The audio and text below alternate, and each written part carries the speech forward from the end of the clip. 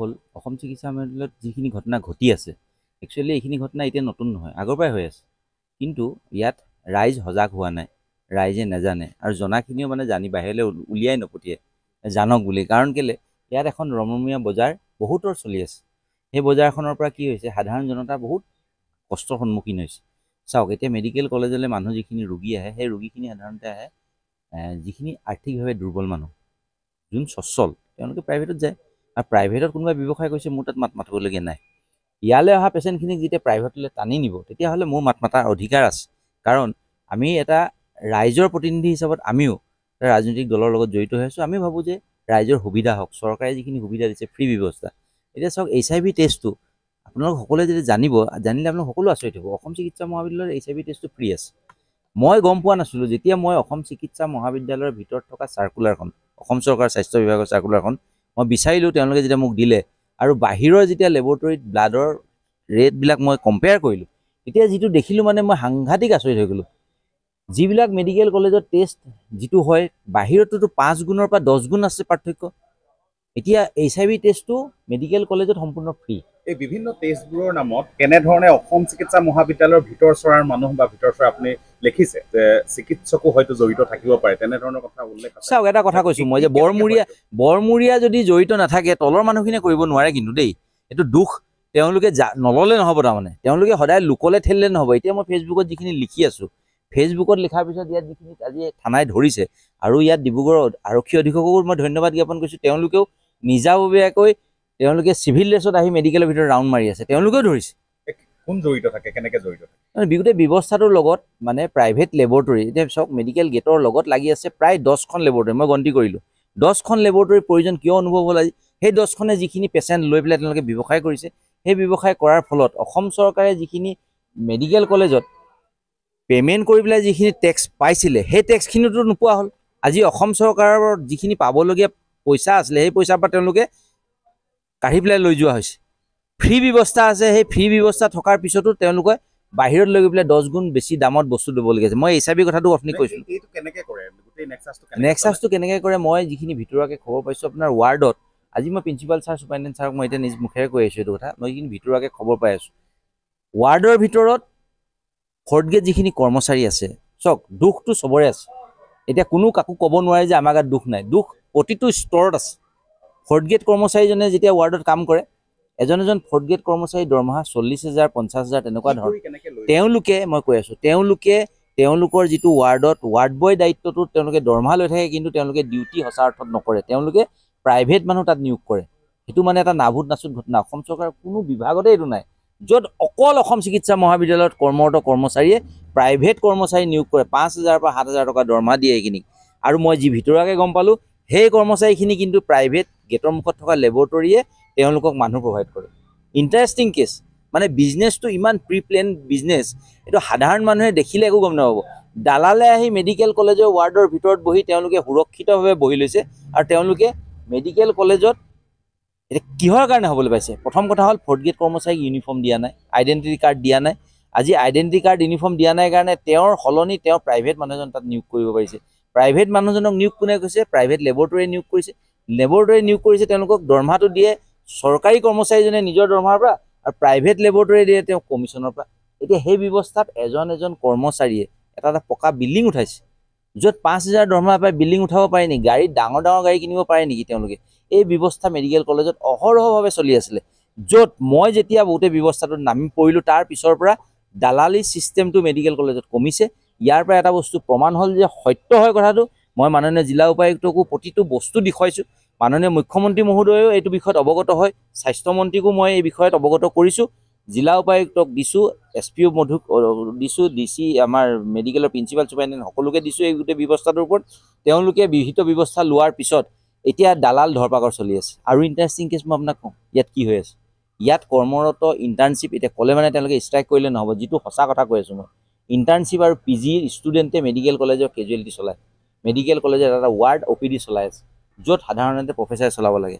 আজি তেওঁলোকক মেনুপুলেট কৰি আছে কোনে জানেনে? প্ৰাইভেটৰ লেবৰেটৰীয়ে প্ৰাইভেট লেবৰেটৰীয়ে আজি লেবৰেটৰী টেকনিচিয়ানক আৰু তেনেকুৱা আপোনাৰ ছাত্ৰক তেনেকুৱা কৰ্মৰত ষ্টুডেণ্টক তেওঁলোকে ওচৰৰ ধাবাবিলাকলৈ লৈ যায়। ৰাতি ৰাতি মদে ভাতে খুৱাই পাৰ্টি দিয়ে পাৰ্টি দি তেওঁলোকক তাৰ বিনিময়ত তেওঁলোকে ৰেফাৰেল কৰে। এতিয়া মোৰ ওচৰত এনেকুৱা তথ্য আহিলে য'ত আগতে তথ্য নাছিলে। তথ্য আহিলে আপোনাৰ লেবৰেটৰীয়ে কমিশ্যন কেনেকৈ দিয়ে? এখন মোৰ কাগজ আছে এখন নাই মোৰ ওচৰত প্ৰায় পোন্ধৰ বিছখন কাগজ আছে তেনেকুৱা দুই তিনিটা লেবৰেটৰী। তেওঁলোকে তাত ৰেফাৰেল বাই লেখে এতিয়া মই আপোনালোকক ফেচবুকৰ মাধ্যমেৰে মই দেখুৱাইছিলোঁ referral by A M C doctor. মই মেডিকেলৰ প্ৰিন্সিপালক ক'লোঁ সেইটো কি অৰ্থ? আজি যে লেবৰেটৰী এখনে যে যে referral by A M C doctor বুলি যে লিখি দিলে লিখি দিয়াৰ অৰ্থ কি? এইটো এনকুৱাৰী কোনে কৰিব লাগে? মই কৰিব লাগে নে ডি চিয়ে কৰিব লাগে? এইটোতো অথৰিটিয়ে কৰিব লাগে। মোক খুজিব লাগে কাগজখন যে কি আছে চাওঁচোন কাগজখনত কিয় লিখিছে? মোক এতিয়ালৈকে খোজা নাই। ফেচবুকত আছে। নাই খোজা। এতিয়ালৈকে। তাত লিখা আছে অৰ্থপেডিক্স ইউনিট ওৱান তাৰমানে আঠ বছৰীয়া পেচেণ্ট এটাক এইচ আই ভি টেষ্ট কৰিবলৈ দিয়া হৈছিলে। মানে আচৰিত লাগিব আঠ বছৰীয়া পেচেণ্ট এটাক এইচ আই ভি টেষ্ট কৰিবলৈ দিছে। অৰ্থপেডিক্স ইউনিট ওৱানৰ পৰা গধূলি সাতটা বজাত সময় উল্লেখ আছে। তেওঁৰ এটেণ্ডেণ্টৰ ফোন নাম্বাৰ মেনশ্যন আছে। Referral by A M C doctor লিখা আছে। সেইখন তেওঁলোকৰ ভিতৰুৱা মানে কমিশ্যনৰ কাগজ মোৰ যিখন মোৰ হাতত লাগিলে। কেনেকৈ লাগিলে মই সেইটো ইণ্টাৰেষ্টিং কেছ কৈছোঁ। মই এদিন তামোল খাবৰ কাৰণে সেই তলত থকা দোকানীখিনিৰ পৰা তামোল খাইছিলোঁ। তামোল বন্ধা কাগজখনত ওলালে। তাৰ পিছৰ পৰাই মই গোটেই ব্যৱস্থাটো তদন্ত কৰোঁতে লাহে লাহে লাহে লাহে গোটেই ব্যৱস্থা ওলালে। সেইখন তেওঁলোকে কমিশ্যন যে ডাক্তৰক মেডিকেলৰ ভিতৰত দিয়ে কমিশ্যন যে লেবৰেটৰী টেকনিচিয়ানক দিয়ে কমিশ্যন যে ৱাৰ্ড বয়ক দিয়ে দালালক দিয়ে সেই গোটেই ছিষ্টেমটো তেওঁলোকক কম্পিউটাৰত ভৰাই থোৱা হয়। মই আপোনালোকৰ মাধ্যমে অনুৰোধ কৰিছোঁ জইণ্ট ডাইৰেক্টৰক মই অনুৰোধ কৰিছোঁ ডি চি মহোদয়ক ইয়াত থকা দহটা লেবৰেটৰীক ইমিডিয়েট গোটেই কম্পিউটাৰ চিজ কৰিব লাগে। প্ৰতিটো কম্পিউটাৰত তেওঁলোকৰ গোটেই ডাটা এণ্ট্ৰি হৈ আছে চি চি কেমেৰা লাগি আছে। চি চি কেমেৰা ল'ব লাগে ফুটেজ দালাল কিমান আহে কিমান নাহে চব ধৰা পৰিব। আৰু এটা কথা মই কৈছোঁ লেবৰেটৰী খুলিবৰ কাৰণে যিখিনি নৰ্মছ লাগে এটাও নৰ্মছ ফুলফিল কৰা নাই। আমিতো দালাল তাত বহুত আছে বুলি গম পাওঁ কথাটো। উইদাউট প্ৰুফত আমি ধৰিব পৰা নাই। আমি স্বীকাৰ কৰোঁ প্ৰুফটো লাগিব। আমি প্ৰুফ হ'লে আমি ধৰাৰ প্লেন যিটো ষ্ট্ৰেটেজি আমি বনাই আছোঁ প্ৰুফৰ সহ আমি ধৰিম বুলি ভাবি আছোঁ। সেইকাৰণে আমি এটা প্লেন কৰি আছোঁ। আমি এইটো প্লেনটো আমি ইমান ছেভেণ্টি পাৰ্চেণ্ট ছাকচেছ হোৱা নাই। কিন্তু আমি হ'ম আপোনালোকক মই এচুৰেঞ্চ দিছোঁ। কালি যিকেইটা দালাল আপোনাৰ মানে উইদাউট প্ৰুফতটো অলপ ধৰিছোঁ কিন্তু আমি পুলিচলৈ ৰেফাৰ কৰা নাই। কিন্তু কালি যিকেইটা আমি ধৰিলোঁ মানে এটেণ্ডেণ্ট সহ ধৰিছোঁ আমি। তেওঁলোকে পইচা লৈ ব্লাড দিম বুলি মানে কথা কৈ পিছত কোনো খবৰ নোহোৱাকৈ মোবাইল চুইচ অফ কৰি ৰাখে। সেইটো মানে পলাই যায় ইনডাইৰেক্টলি সেইটো আমি পিছত নিজেই ষ্ট্ৰেটেজি বনাই আমি ধৰিছোঁ আৰু এইমতে অলপ চলপ সফল হৈছোঁ। তাকে আমি ভৱিষ্যতলৈ এইটো কাম কৰি যাম বুলি আপোনালোকক এচুৰেঞ্চ দিলোঁ। আৰু এটা এজন আহ, ৰাজনৈতিক আহ, বিষয়ববীয়াও হয়, হয়। ছ'চিয়েল মিডিয়াত পোষ্ট কৰি আছে এইকেইদিন খুব ৰাজহুৱাভাৱে চৰ্চিত অৱস্থাত আছে। হয় হয়। তেওঁ কৈছে যে অসম চিকিৎসা মহাবিদ্যালয়ৰ একাংশ লোক আৰু অসম চিকিৎসা মহাবিদ্যালয়ত এটা দালাল চক্ৰ আছে যিটো চক্ৰই পেথলজিকেল সমীপৰ যি অসম চিকিৎসা মহাবিদ্যালয়ৰ ব্যক্তিগত পেথলজিকেল লেবৰেটৰীলৈ ৰোগীসকলক দুখীয়া ৰোগীসকলক বিশেষকৈ কনভিন্স কৰি লৈ যায়। হয়। সেইটো যিহেতু চিকিউৰিটিত আপোনালোকে দায়িত্বত আছে কি ক'ব গোটেই বিষয়ে নাই এইটো আমাৰ জে ই আই যিটো চিকিউৰিটি এইটো আমাৰ হস্পিটেল চাইড চিকিউৰিটি আপোনালোকে চাৰ্চ কৰি চাব পাৰে। অসমত যিমান কেঞ্চাৰ কেয়াৰ আছে আমি আছোঁ তাত। আমি আপোনালোকক এচুৰেঞ্চ দিছোঁ আমাৰ এমাহ হৈছে। আমি এটা ৰেগুলাৰ ইণ্টাৰভেলত আমি ঠিক ধৰিব পৰা নাই কিন্তু আমি আপোনালোকক এচুৰেঞ্চ দিছোঁ আমি এইবিলাক চব আমি ৰিমুভ এইটো আমি চিয়'ৰ দিছোঁ মানে এইটো আমি ৰিফৰ্মছ কৰিম। হা, আৰু যিটো আপুনি ক'লে ব্লাড বেংকত মানে ব্লাড বেংকৰ গাৰ্ডটোৱে মোক ইনফৰ্ম কৰিলে এইটো কথাটো। ধৰোঁতে আপোনাৰ ব্লাড বেংকত ধৰা নাই এছ এছ বি গেটৰ ওচৰত আমি তেওঁলোকক কেপচাৰ কৰিছোঁ। গোটেইকেইজনৰ ব্লাডৰ দালালিতে জড়িত আছিল আহ, তে কওঁতে তেনেকৈ আমি প্ৰুফ পাইছোঁ। মানে এজন আছিলে লিংকমেন লিংকমেন হিচাপে ধৰিছোঁ আৰু বাকী দুজন দালালে বকাৰ। আগতে আপুনি ধৰি তেনেকৈ দিছে নেকি ডিব্ৰুগড় আৰক্ষীক বা এই- আমি এমাহ হৈছে দুই এটাক দিছোঁ কিন্তু যিবিলাক আমি প্ৰুফ পোৱা নাই তেওঁলোকক আমি ধৰি আনি এপলজি কৰাই লৈ তেওঁলোকক আমি এৰি দিছোঁ। আমাৰ ওচৰত আছে হেৰি আছে ফটো আছে। অঁ ব্লাডৰ দালাল ব্লাডৰ দালাল হওক মোবাইল চুৰ হওক মানে এইবিলাক আমি ধৰিছোঁ কিন্তু মানে কিছুমানক ৰেফাৰ কৰিছোঁ কিছুমানক প্ৰুফ নাই কাৰণে আমিতো ৰেফাৰ কৰিব নোৱাৰোঁ। কিন্তু এপলজি কৰাই আমি এইটো ফটো শ্বট লৈ আমি এৰি দিছোঁ। আৰক্ষীক দুই এটা দিয়া হৈছে মোবাইল চুৰ দিয়া হৈছে, দিয়া হৈছে। নাই। গোটেইখিনি দিয়া নাই। কিছুমান কিছুমান দিছোঁ যাৰ প্ৰুফ আছে প্ৰুফ থকাখিনিক দিছোঁ মোৰ আছে ইনফৰ্মেশ্যন আছে মোৰ চাব পাৰে। কিন্তু সকলোকে দিয়া নাই। কিছুমান সকলোকেতো প্ৰুফ নাথাকিলে দিব নোৱাৰি। কাৰণ তেওঁলোকক আমি নিজে মানে কাৰায়ত্ব কৰাৰ নিচিনাকৈ মানে তেওঁলোকক এপলজি কৰাই মাফিনামা লৈ ভৱিষ্যতে যাতে এই কাম নকৰোঁ বুলি মানে তেওঁলোকক সন্মত কৰে আমি এৰি দিছোঁ। তেওঁলোকে